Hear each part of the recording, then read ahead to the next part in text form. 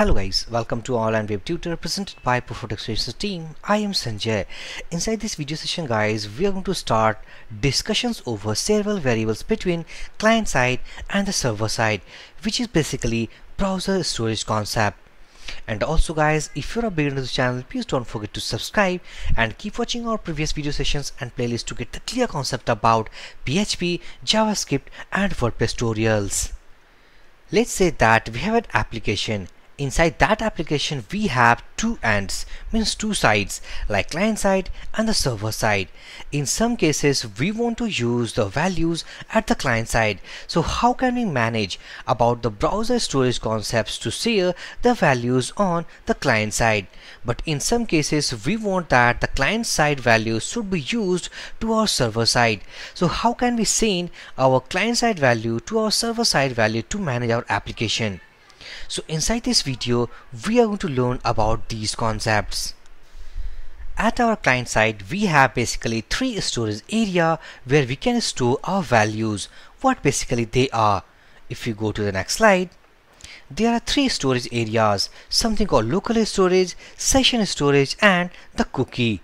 But by using these two storage like local storage and the session storage, we can't share values with the server. By storing the value inside this cookie, the third parameter, we can actually share our values from our client side to our server side. So what is the basically difference between these storage areas? For that, we had made a video session at our YouTube channel. Now you can find inside the playlist something called Smart Programming Tricks for Beginners and this is the video something called What is the difference between local storage, session storage and the cookie. After getting the concept between these storage, you can understand about how can we actually store the values inside local storage, session storage and the cookie. So let's get started about storing value in local storage and see how basically we can work with local storage and the cookie parameters. If we back to folder structure, Let's say that this is our directory. Inside this directory, I'm going to create a file something called index.php and open inside gedit editor. Now inside this, firstly, we need to include about jQuery plugins.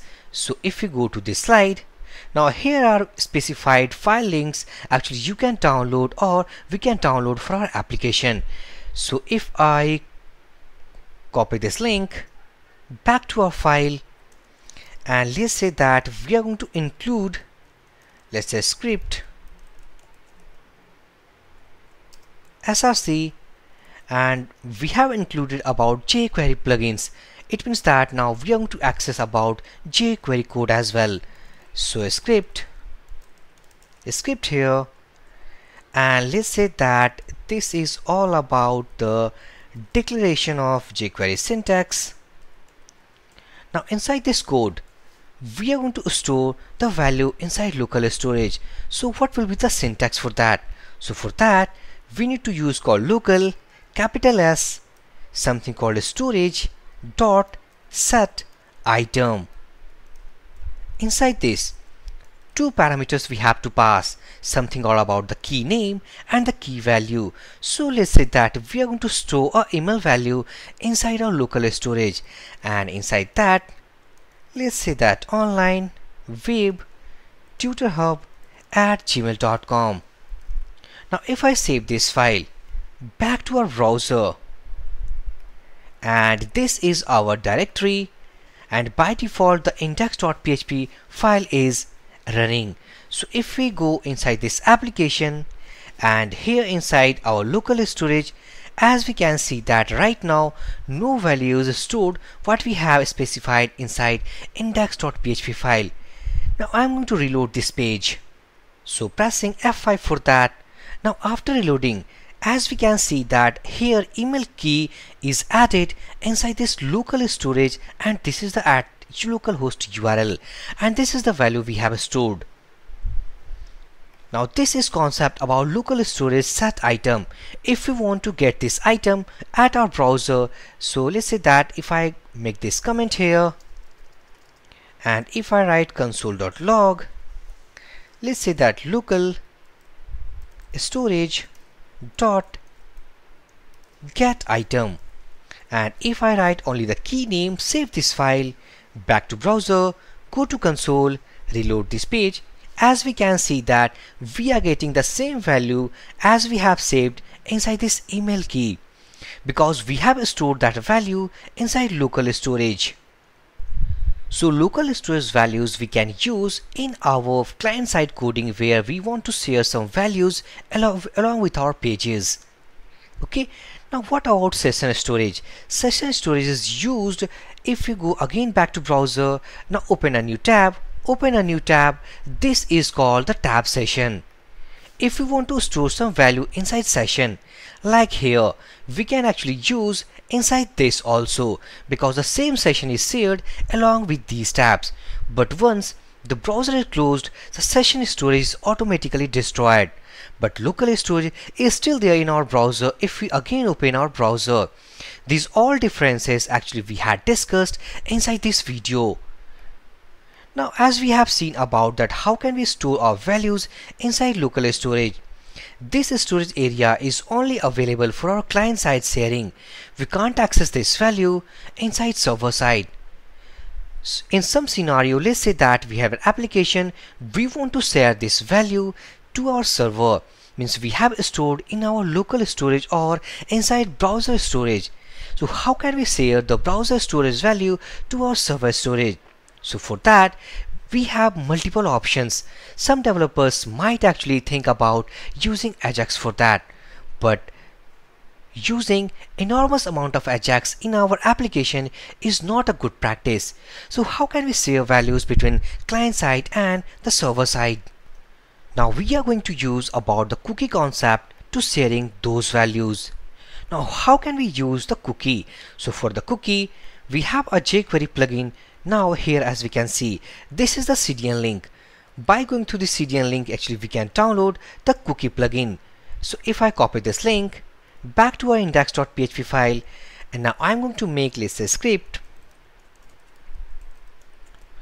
Inside this script, I'm going to link this file here and successfully we have linked about jQuery plugin here.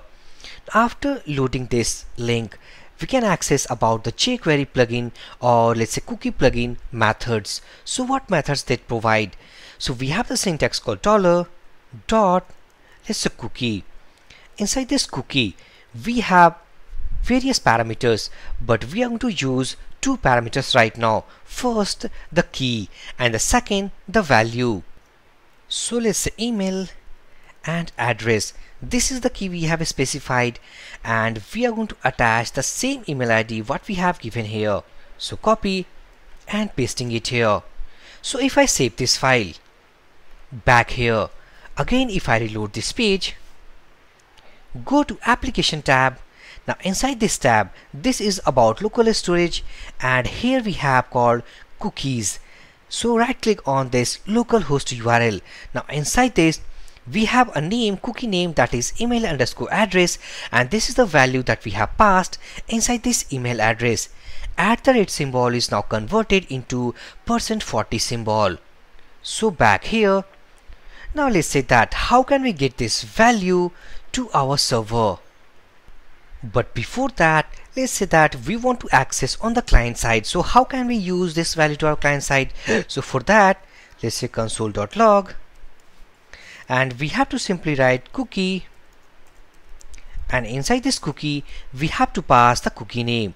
And something we have called email underscore address. This is the syntax to retrieve the value from our cookie at client side. So save this file. Back here reload this page. Successfully we have stored that value from here and go to console. Now this is the value this is all about the local storage value and this is all about our cookie value. So let's say that we are going to access about the cookie value to our server side. So let's say server.php. Now inside this PHP file, we are going to access the client side value from cookie. Now if I back to server.php file, now inside this file, as we know that actually PHP provides a global variable for that now what basically that variable is echo we have called dollar underscore cookie. These are the global variables of PHP. Now inside this cookie, what we have defined right here this is the key so if I copy this email address go here inside the server.php and pasting it here so if I save this file successfully as we have stored inside index.php the value of cookie now we are going to retrieve the cookie value from the server.php file. Let's suppose that this is an application. Here we have a client side. And now from the server side we are receiving that. So if I back to browser open a new tab again and let's say that I'm going to write server php if I press enter this is the value we have stored inside the cookie and now successfully we have retrieved over the server so in various cases in our application where we want uh, the shareable variables between client-side pages as well as in some cases we want to share, share our client-side values for the server side. So by the same concept we can implement in our application and we can achieve what amount of variables we want to share over the client side and the server side. Apart from the cookie, storage area of our client side, no storage area we can access from the server, only cookie we can ac access. Now inside cookie, as we know that there are various parameters, if you back to browser again, go here, go to application inside cookie so inside this cookie value as we can see that name value domain path expiration and many more parameters here we have inside our cookie parameters so we can set all these parameters right here inside this cookie available plugin method. Just go and read about the documentation about using jQuery plugin, sorry using cookie plugin with their optional parameters. So inside this video session guys, if you any doubt, then please drop your comment. I will give my reply as soon as possible. So for this video session guys, thank you for watching and have a great day.